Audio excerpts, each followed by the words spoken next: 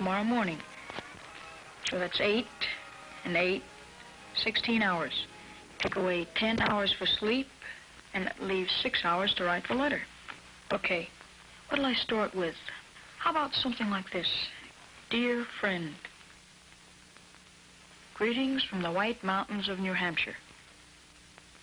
I'm looking down on the valley of the Conways and looking up at Mount Washington, which was named after the first president of the United States. Uh, sounds like a postcard. Why don't I send a whole bunch of postcards along with a letter? Good idea. Anyway, I'll start right out and explain that the real reason I'm writing this letter is because we had a student council meeting at our high school last Tuesday. Student council is composed of delegates from each of the four classes in school, and we talk about things that concern the whole student body. Well, last Tuesday we started talking about the whole world, and Mr. Davidson, our headmaster, said it doesn't make any difference where you live. The way you act toward the rest of the world is very important. Well, that started a big discussion about how we Conway kids could get closer to people around the world. It's okay to call Mr. Davidson Dave. Dave said he could get the addresses of high school students in different parts of the world if we'd volunteer to write letters to them. So I don't know who I'm writing to, and I don't know even what part of the world he lives in. I only know he's a boy, and I sure hope he'll answer my letter right away. What'll I start with? Let's see. Dear friend, my name is Richard French, but everybody calls me Pee-wee, and I'm 14, and I live in Conway, New Hampshire. Funny how you can live in a town all your life and not think of anything to say about it. I mean, anything terrific or amazing. Well, why not just say what it is? Just a plain town with 2,000 population and a bunch of stores and stuff, and the state highway running right through it. Then I could say that Four Corners is the main part of town, and mention the hotel where a lot of city people stay in the summer. Any old day in the summer, you can see them rocking on the front porch when they aren't riding around looking at scenery. I almost forgot the scenery. Let's see. What all have we got besides mountains and waterfalls and that stuff? I don't want to sound like a girl writing a lot of words like beautiful and charming.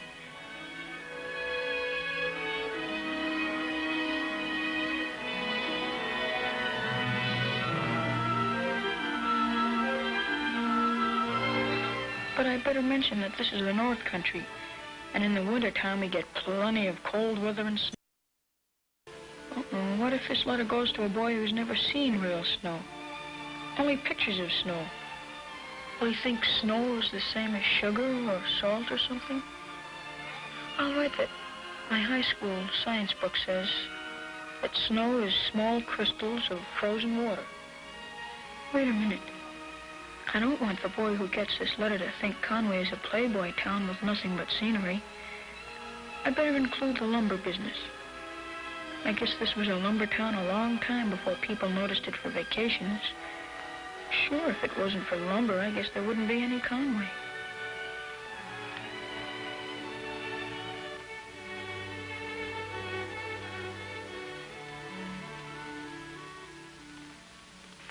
Imagine not thinking about lumber with trees all around her. That reminds me. I don't want to forget Mother and Dad and Joyce and Whitey. Starting with Mom, what about her?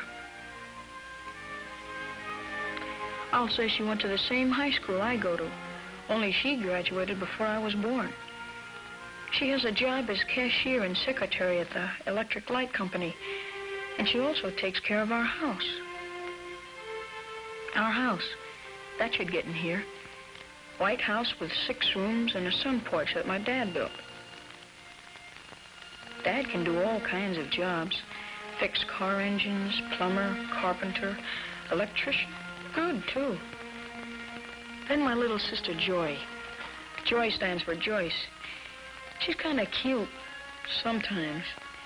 She's been kidding me about the bawling out I got the other day from Dad. It wasn't a serious bawling out.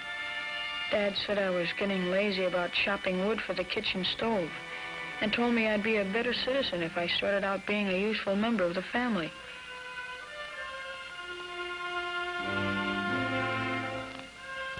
He wasn't mad at me, but I felt sort of ashamed. Anyway, I won't put that in the letter. Mom says Dad is an old-fashioned homebody because he likes to read his newspaper and have us all together after supper. I help Joy with her homework, and if I get stuck, Whitey helps me. Whitey's real name is Edwin French Jr., and he's a senior in high school, a lucky stiff. Mom always practices on the piano, and boy, you always know at our house what the choir is going to sing in church next Sunday.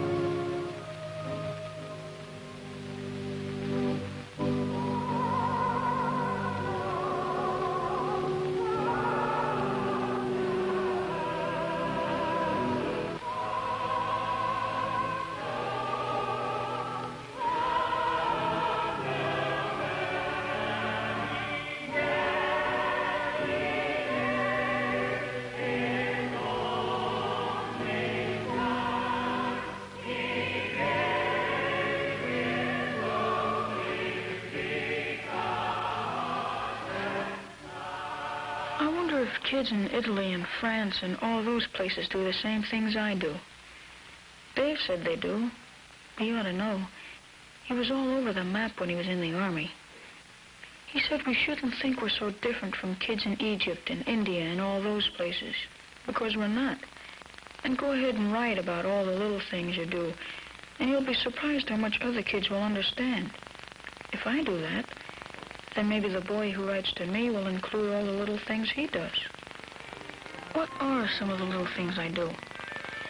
Well, stuff like chopping wood and taking care of the heating stove in the kitchen. But that's only in cold weather, not in the summer.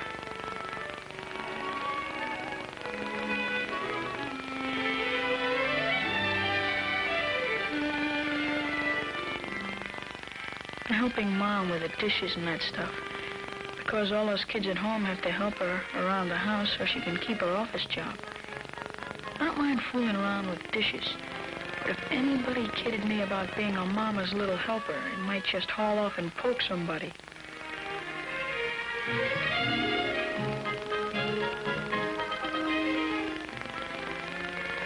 Then there's the backyard. Every time I turn around, the backyard needs me. Never think about how many leaves a tree has until they all fall off. It's a lot. That reminds. Halloween.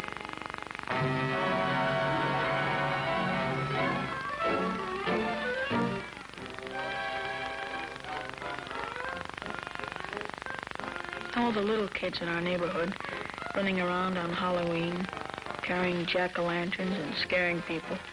They think.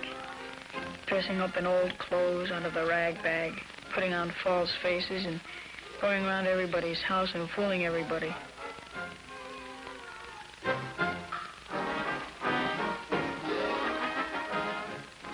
Just have to let them think you don't know who they are with their false faces on.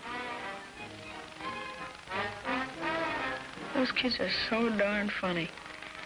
You guess who they are, they pretend they don't like it. But they do. Little kids sure are comical. I was a little kid once myself, so I must have acted the same way. It's embarrassing just to think about it. Boy, this letter is getting kind of mixed up. What I ought to do is just take a regular day, like Friday, and write about that. After breakfast, Joy and I feed her pony. Then Mother and Dad and Joy and I leave together in the car. Straight up Main Street to Kennett High School where I get out.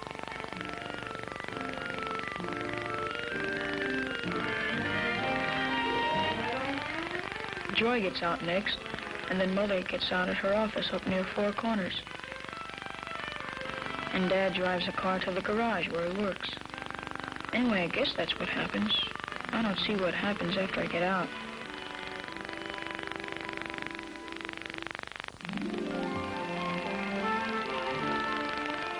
school buses come in from all the towns around Conway. And I look for Eddie Ashnault.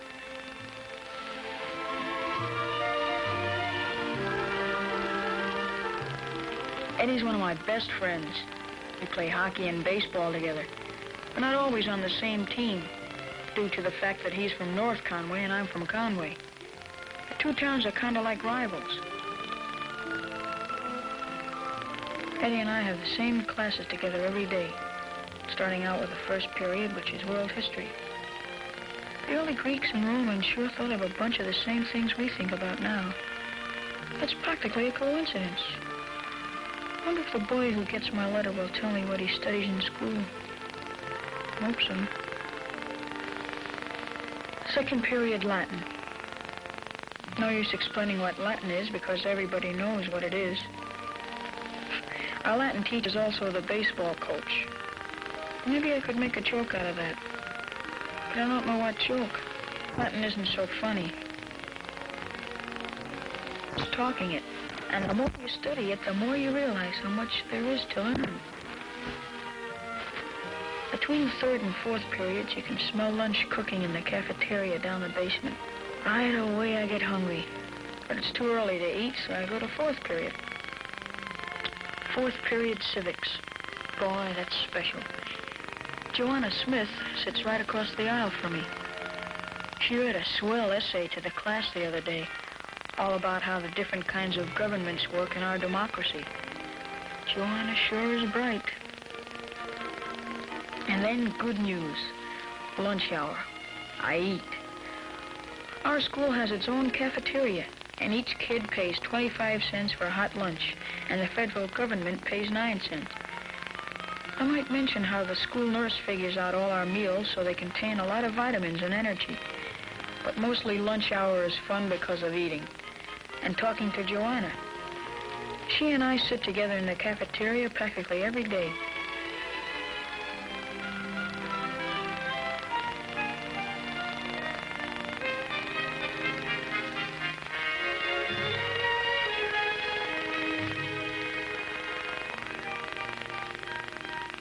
Joanna and I got to be friends because of a dance at the high school, the freshman ball. I was going to miss it. Dave told me social life is pretty important. And what about learning to dance and being sociable? Well, I asked Joanna Smith to go to the dance, and right away we were special friends. My mother and dad were chaperones that night.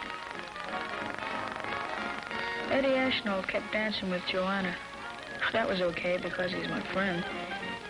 I guess Joanna didn't think so much of my footwork. I didn't think it was so terrible. The boy who gets this letter could see some of our dances, I'll bet he'd wonder what the heck is going on. I wish I could tell him, but I don't know myself.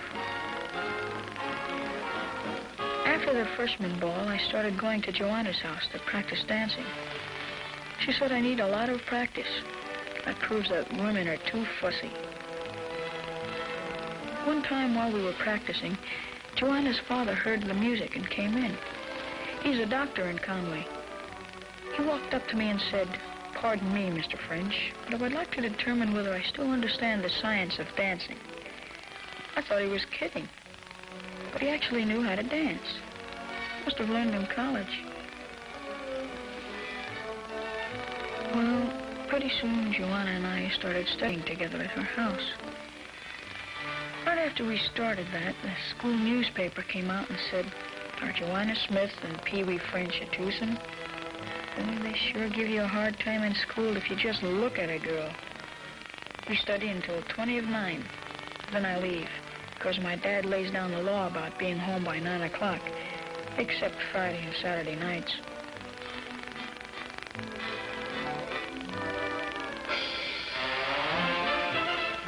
Saturday night is movie night for me. If it just so happens that Joanna wants to see the show, why the two of us go together. We have a special arrangement about the popcorn. One Saturday I buy it, and the next Saturday she buys it. I think I'll ask the boy I'm writing to if he ever eats hot popcorn. Maybe he doesn't eat anything when he goes to the movies. We like the Western pictures, the bang bangs, but we know they aren't real. Heck, there isn't any more rootin', tootin', and shootin' in western part of the United States than there is in New Hampshire.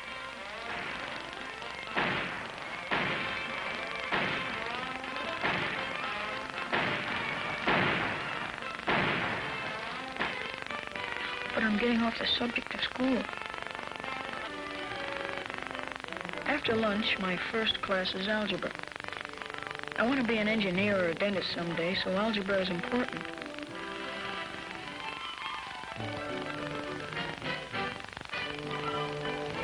On Fridays, algebra is the last period before I go to the big gymnasium for mixed chorus rehearsal.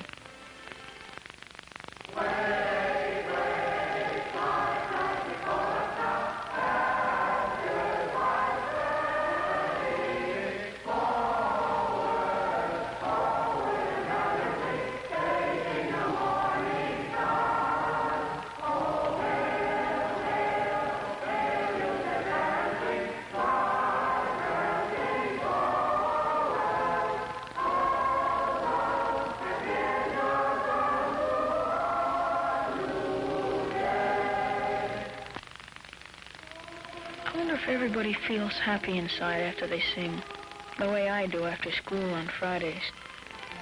After school, there's a lot of stuff I do. Sometimes a gang of us hang around Stone's drugstore across the street, chewing the fat about football or what the Boston Red Sox are doing. I should explain that the Red Sox are a big league baseball team in Boston. A boy in Siam might not know that if I didn't explain it. I wonder what kind of sports I'll hear about when I get the answer to this letter. If I knew where the boy I'm writing to lives, I could tell him what I already know about his country. And then I could read some books and learn a lot more about it. What if I ought to mention Sandra? I think we're getting to be special friends. I'm trying out for the freshman baseball team. I could write about that.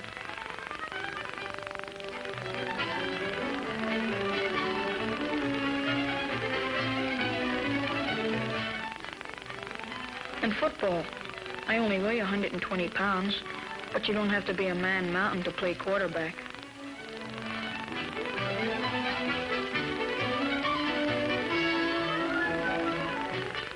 Two days a week, I have a job after school, working at Allard's grocery store so I can earn my own spending money and buy my own clothes and extra stuff like a baseball glove or, or a hockey stick.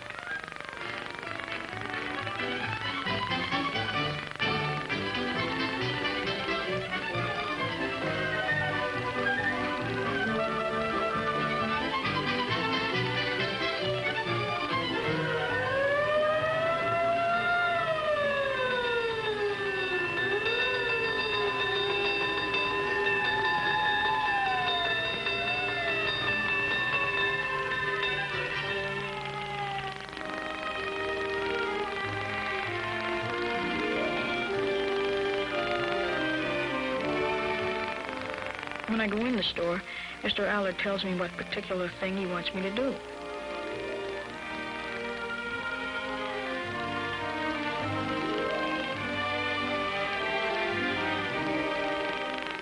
And I go back to the back part of the store where the frozen food is kept. And I put on a white apron like the regular clerks wear. I don't want the boy who gets my letter to think I'm a big shot with an important position. Mr. Allard mostly wants me to do jobs like marking the price of canned salmon on the tops of the cans and putting the cans in the shelves. Another thing I do after school, not every day, but once every four weeks about, is go get a haircut. I always go to Marsh Newton's barber shop on Four Corners. Marsh knows everybody in town. And he kids me about girls and the way I play basketball. He thinks my head is a basketball, I guess.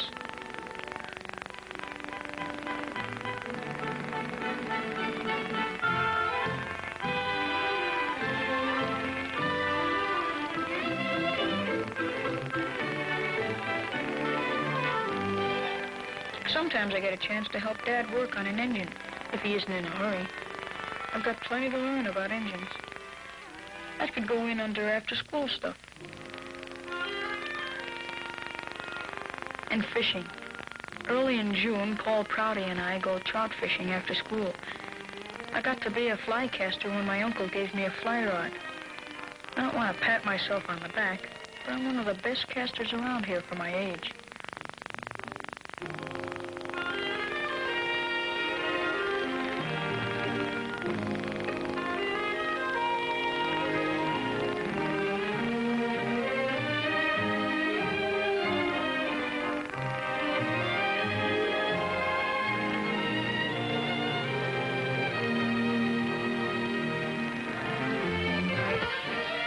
Things I do after school happen pretty suddenly, like snowball fights.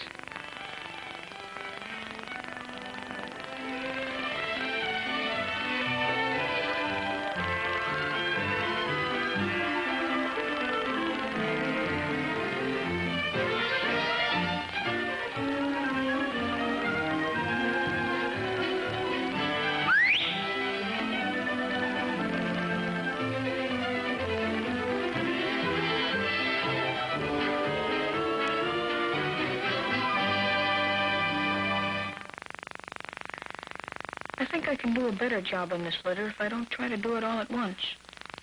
I'll write some of it in bed tonight. Now I can concentrate on some special things for this letter. Basketball nights in the winter. They're pretty special. Mom fixes an early supper for the whole family, and everybody starts giving me advice about how to play basketball.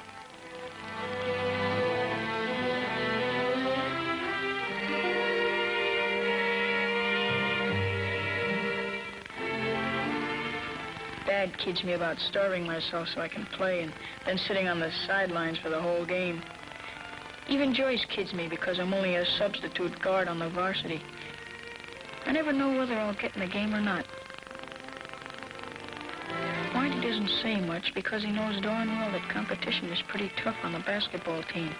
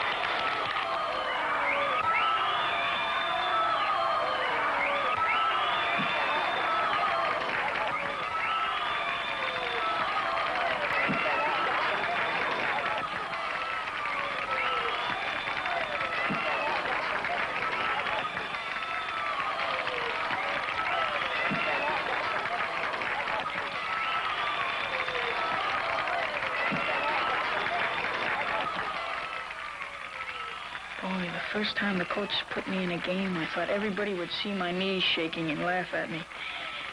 But I did okay, even if I was nervous.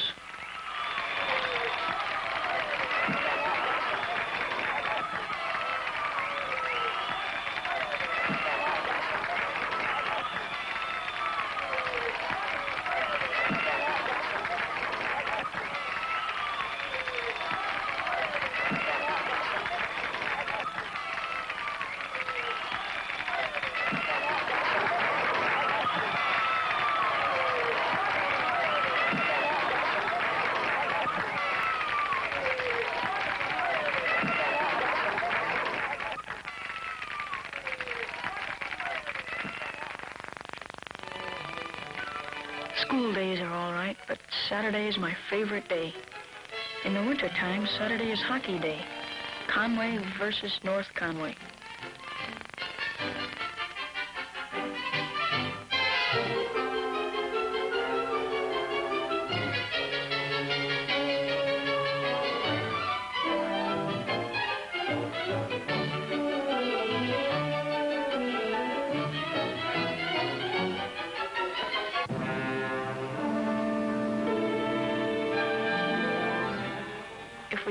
Play hockey, we go to North Conway Saturday morning to see the snow bunnies. They all come up from Boston on a special train for two days and go back Sunday. Snow bunnies is just another name for girls who get all dressed up to go skiing and then can't ski so good. They probably think us Conway kids are country hicks, but we don't care. We're allowed to ride free on the Skimobile when they go home.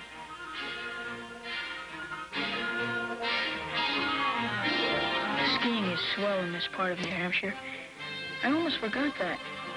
Any old Saturday I feel like it, I can ski with the guys on Kennett High School's ski team. They make me go last so I won't block the trail, but I don't care.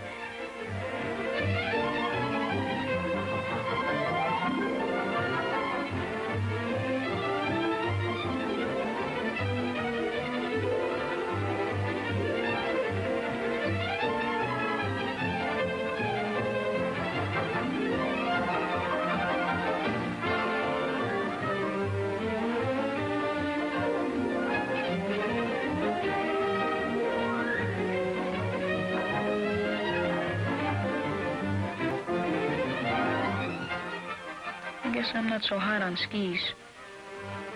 I'm hotter on skates.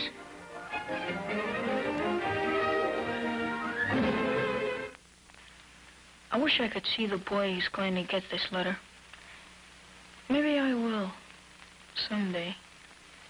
I better send the letter airmail so he'll get it sooner and answer it sooner. Before I finish writing, though, I'll close my eyes and think if I left anything out. Anything special or important.